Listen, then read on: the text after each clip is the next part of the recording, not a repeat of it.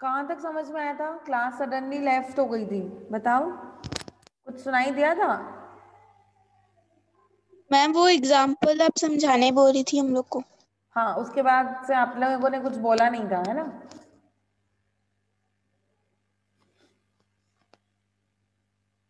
चलो एक्सप्लेन करना है? मैम मैं हाँ। मैम मैं ट्राई करूँ एक बार? हाँ करो बेटा जल्दी से स्टार्ट करो।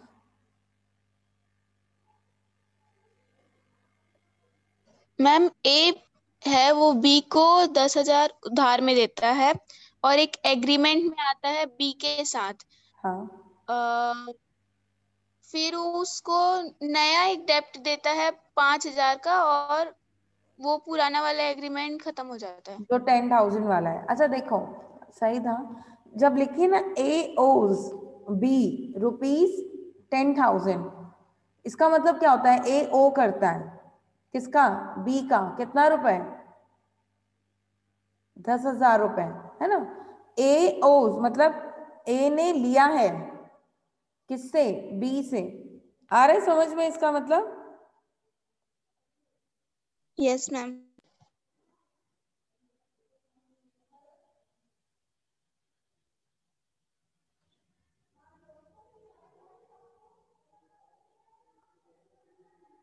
आगे देखो, है ना?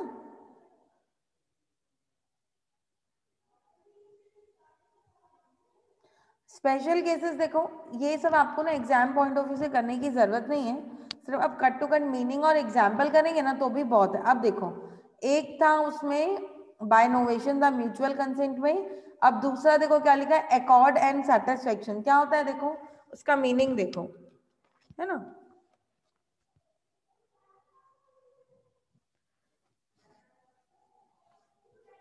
क्या होता है अकॉर्ड और सेटिस्फेक्शन में देखो क्या लिखा है every promise may dispense with or remit the performance of promise made to him and accept instead of it ठीक in other words देखो इसका क्या मतलब है जब कम अमाउंट पे किया गया है जितना पे करना है उससे कम पे किया गया है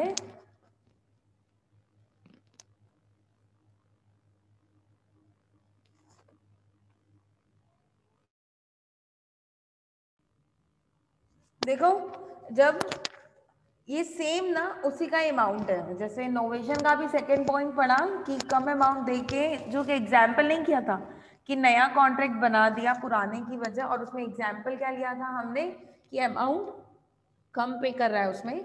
तो ये वही है अकॉर्ड एंड सेटिस्फेक्शन में, जब कम पैसे देकर एक्चुअली में से जितना हमारा ड्यू था कॉन्ट्रैक्ट में, उसमें अगर हम कम पैसे देके और उसके बाद एक नया कॉन्ट्रैक्ट बनाते हैं, ठीक है? और जो एक्चुअल पेमेंट की गई है, उसको मानते हैं सेटिस्फेक्शन तो जो न्यू कॉन्ट्रैक्ट बनेगा, उसको नाम दे देते हैं अकॉर्ड और जो एक्चुअली पे करेंगे, वो हो जाएगा सेटिस्फेक्शन सपोज़ यहाँ पे देखो,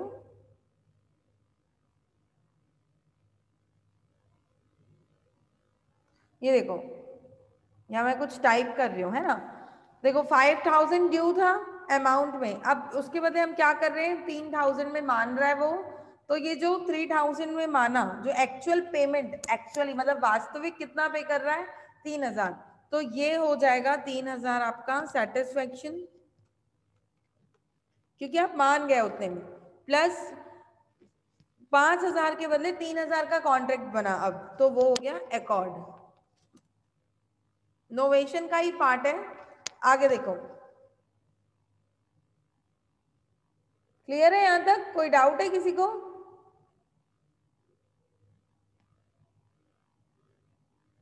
मैम अकॉर्ड क्या है? उसके बदले नया कॉन्ट्रैक्ट बताई ना देखो पाँच हज़ार के बदले तीन हज़ार का नया कॉन्ट्रैक्ट बनाए। वो है कॉर्ड ठीक है? देखो Yes, ये ये एग्ज़ाम्पल देखो अच्छे से रीड करो आपको समझ में आ जाएगा क्या अकॉर्ड है और क्या सेटिस्फेक्शन पे आएगा। देखो रमेश के पास पोस्टपेड कनेक्शन था मोबाइल कनेक्शन का पोस्टपेड क्या होता है? यूज़ करने के बाद पे करना। अभी अपन जो अपने फ़ोन को रिचार्ज वगैरह करवाते हैं, वो प्रीपेड होता है। लेकिन जब अपन बिल पे करते हैं यूज़ करने के बाद, वो हो जाता है पोस्टपेड तो मोबाइल का बिल देखो कितना था ट्वेल्व फोर्टी फाइव अब क्या करता है, वो कंप्लेन करता है तो एयरटेल ऑफिशियल्स क्या बोलते हैं, तुम ट्वेल्व हंड्रेड पे करो एज अ सेटलमेंट तो जो 1245 का ओल्ड बिल था, वो था एकॉर्ड एग्रीमेंट और जो 1200 हो गया, वो उसका क्या हो गया सेटिस्फेक्शन एक्चुअल पेमेंट आया समझ में?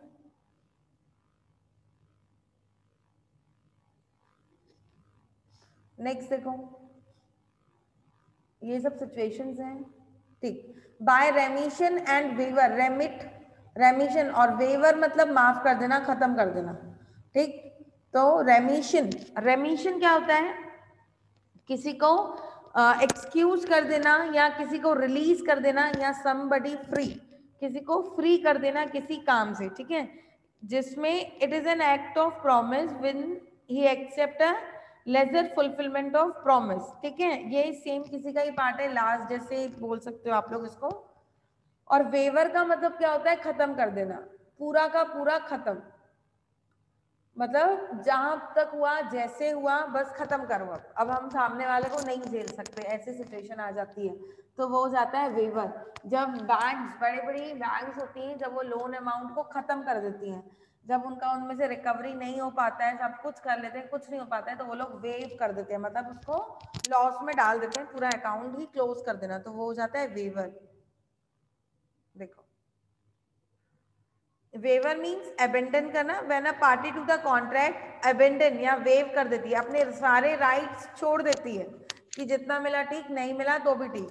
अब हम ट्राई नहीं करेंगे तो द कॉन्ट्रैक्ट इज़ डिस्चार्ज इसमें वेवर का मीनिंग लिखा है रेमिशन का नहीं लिखा है। रेमिट कर देना मतलब सामने वाले को माफ़ कर देना। सपोज़ अगर हमको उसमें से पाँच हज़ार लेने हैं तो हम दो हज़ार लेके भी उसको फुल एंड फाइनल पेमेंट करके उसको रेमिट कर सकते हैं। रिलीज़ कर देना रेमिट है ना? नेक्स्ट देखो।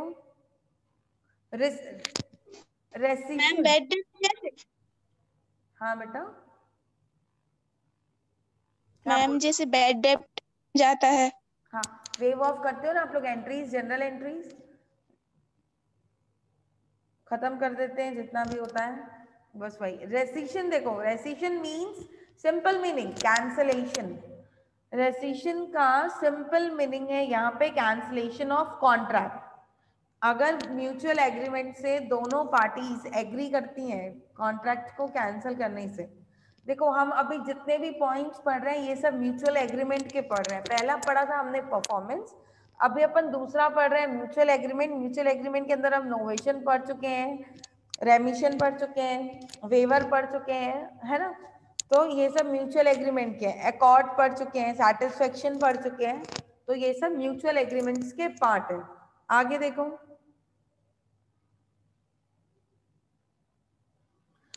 थर्ड है इम्पॉसिबिलिटी ऑफ़ परफॉर्मेंस ठीक है फ़र्स्ट हमने किया था डिस्चार्ज सेकेंड हमने किया था म्यूचुअल एग्रीमेंट या म्यूचुअल कंसेंट के साथ.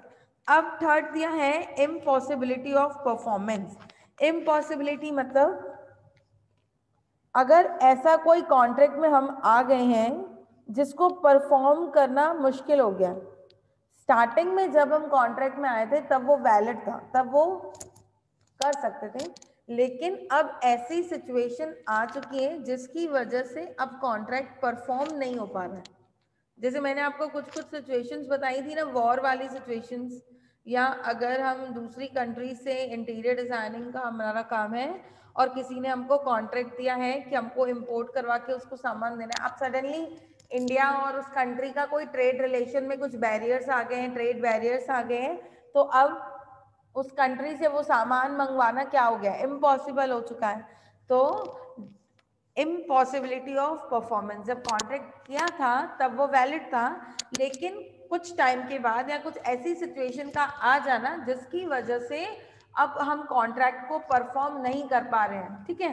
तो वो हो जाता है इम्पॉसिबिलिटी ऑफ़ परफॉर्मेंस और ऐसे कॉन्ट्रैक्ट को वॉइड कॉन्ट्रैक्ट बोलते हैं। It means that an agreement to do an act impossible देखो इम्पॉसिबिलिटी दो टाइप की होती है, एक लीगल होगी या एक फ़िज़िकल होगी। कौन ये सुप्रीम कोर्ट कहता है, आगे देखो इफ़ कंसिडरेशन और ऑब्जेक्ट ऑफ़ कॉन्ट्रैक्ट और its part of which is unlawful ये तो डेफिनेशन दी गई है वॉइड कॉन्ट्रैक्ट की। अब देखो, इसमें दो टाइप की इम्पॉसिबिलिटीज को हम पढ़ेंगे इसमें। एक सेकेंड ना। ये एक पढ़ेंगे सुपर विनिंग इम्पॉसिबिलिटी या सब्सिक्वेंट भी बोल सकते हैं इसको, और एक हम पढ़ेंगे इनिशियल इम्पॉसिबिलिटी इनिशियल इम्पॉसिबिलिटी देखो क्या होगा, यहाँ पे मैं टाइप कर रही हूँ कुछ.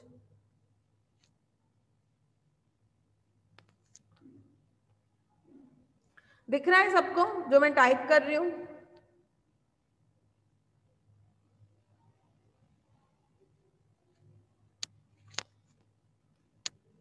यस मैम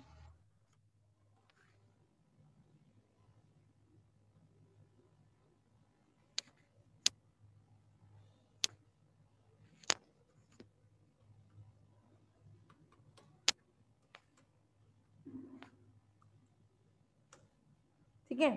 फ़र्स्ट हम पढ़ेंगे इनिशियल इनिशियल क्या होता है? इनिशियल की मीनिंग बताओ मेरे को.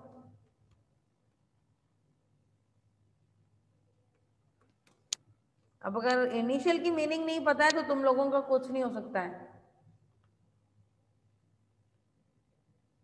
मैम स्टार्टिंग में हाँ बस मतलब और एकदम स्टार्टिंग से। हाँ।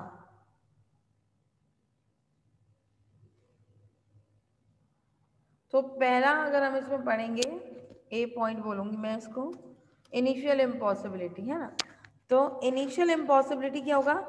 जब हम कॉन्ट्रैक्ट जब हम बना रहे थे, जब हम कॉन्ट्रैक्ट को फॉर्म कर रहे थे, उसी समय ही वो कॉन्ट्रैक्ट वॉइड था। बट क्या हो सकता है कि ये जो पार्टी इस कॉन्ट्रैक्ट में आ रही है, उनको शायद पता हो या फिर शायद नहीं पता हो कि ये कॉन्ट्रैक्ट अब इम्पॉसिबल है करना। आ रहा है समझ में? एक वर्ड बताई थी मैं वॉइड एब इनिशियो याद आया किसी को? फ्रॉम द वेरी बिगिनिंग इसका मतलब यस है ना? बताया ना मैंने? यस मैम तो जब कॉन्ट्रैक्ट बन रहा था ना उसी समय ही वो क्या हो गया था?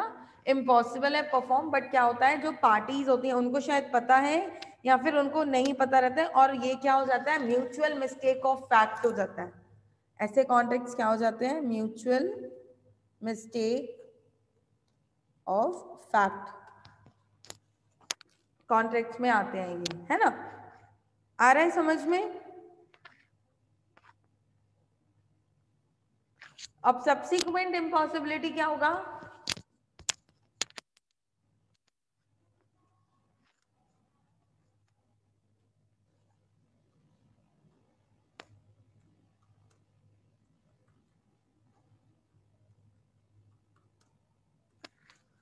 सब्सिक्वेंट मतलब क्या हो जाता है? बाद में।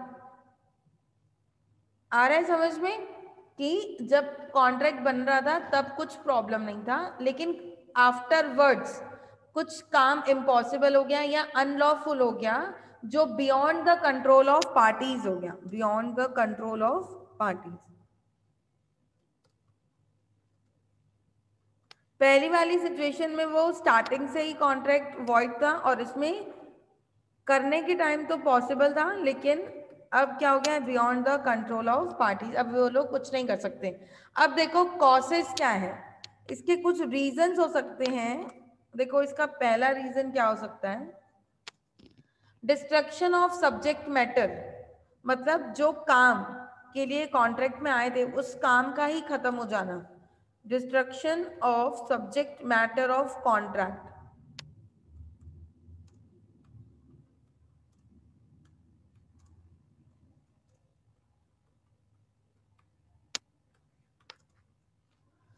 आ रहे समझ में?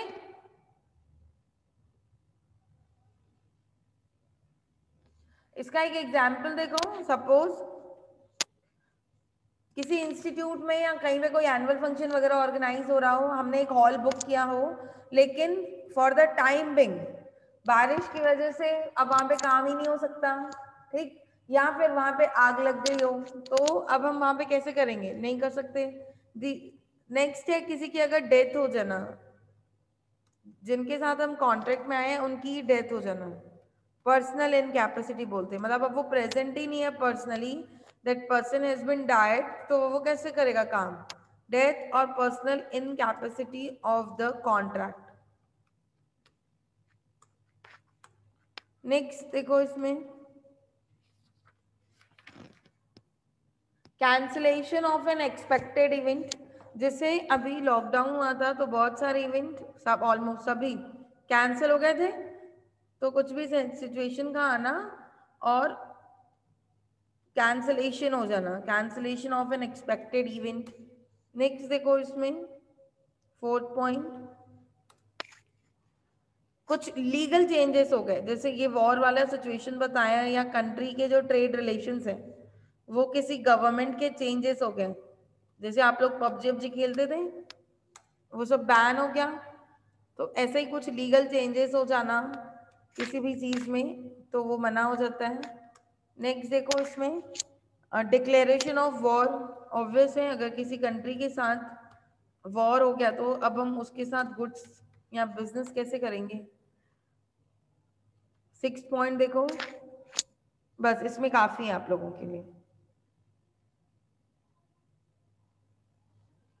क्लियर है यहाँ तक? किसी पॉइंट में डाउट है? नो no, मैम किसी को भी?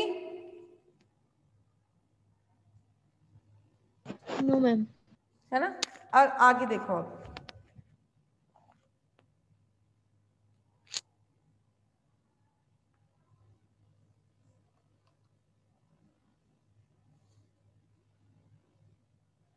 देखो, आपका ना बुक में इसके कुछ और पॉइंट्स होंगे, इसके अलावा। मतलब कुछ ऐसे रीजंस जिनकी वजह से कॉन्ट्रैक्ट नहीं हो पा रहा है, लेकिन ये सब्सिक्वेंट इम्पॉसिबिलिटी में नहीं आएगा। इस सब्सिक्वेंट को ना एक और वर्ड यूज़ करेगा। आप लोग देखना। एक चीज़ बता, देखा, देखो।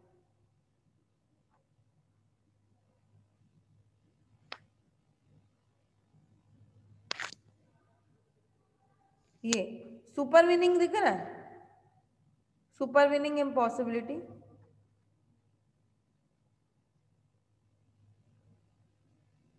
ये वर्ड दिख रहा है? देखो supervening impossibility yes ma'am yes ma'am ये ये यही है सब्सिक्वेंट इम्पॉसिबिलिटी कोई बोल रहा है सुपर विनिंग ये देखो। At the time of contract contract was capable of being performed contract जब बना था, तब वो कैपेबल था but subsequently its performance become impossible तो ये देखो सब्सिक्वेंट इम्पॉसिबिलिटी लिखा है और इसका दूसरा नाम है सुपर विनिंग इम्पॉसिबिलिटी तो कंफ्यूज मत होना एग्ज़ाम में। ठीक है? कुछ रीजंस और होते हैं जिसकी वजह से कॉन्ट्रैक्ट पूरा नहीं हो पाता है, लेकिन वो इसमें नहीं आएगा। सपोज़ कमर्शियल इम्पॉसिबिलिटी या स्ट्राइक्स वगैरह का हो जाना, जो अभी अपन पॉइंट्स पढ़ रहे ना डिस्चार्ज ऑफ़ कॉन्ट्रैक्ट नोवेशन वगैरह दुनिया भर के, है ना? तो वो और ये अलग रखेंगे आप लोग। बस बुक में ना ऐसे कंफ्यूजन को, या कॉन्सेप्ट को ज़्यादा क्लियर करने की वजह से पॉइंट्स को फिर से एक्सप्लेन करता है, क्योंकि इंडियन गवर्नमेंट में, जैसे गवर्नमेंट बोलती है कि लॉ को इतना एलैबोरेट किया है कि लोग उसका गलत फ़ायदा उठाते हैं लूप होल्स को। तो इसलिए सुपरविनिंग इम्पॉसिबिलिटी में ये पाँच कंडीशंस को ही डाला है कि ऐसी सिचुएशन का होना कि कॉन्ट्रैक्ट नहीं हो सकता है। कि तुम कुछ और भी रीजन डाल दो सपोज़ यहाँ पे देखो, अगर मैं यहाँ पे स्ट्राइक डालती हूँ सपोज़ है ना? स्ट्राइक अगर मैं डाल दूँ या फिर लॉकआउट्स ठीक है? यानी क्या होता है लॉकआउट्स फैक्ट्री में ताला लग जाना या स्ट्राइक यानी मजदूर का हड़ताल पे चले जाना। तो क्या ये रीजन को वैलिड माना जाएगा कि कॉन्ट्रैक्ट परफॉर्म नहीं हो सकता है? या फिर उस ऑर्गेनाइजेशन की ये खुद की पर्सनल कमी है कि वो उसके ऑर्गेनाइजेशन में स्ट्राइक या लॉकआउट हुए? बताओ।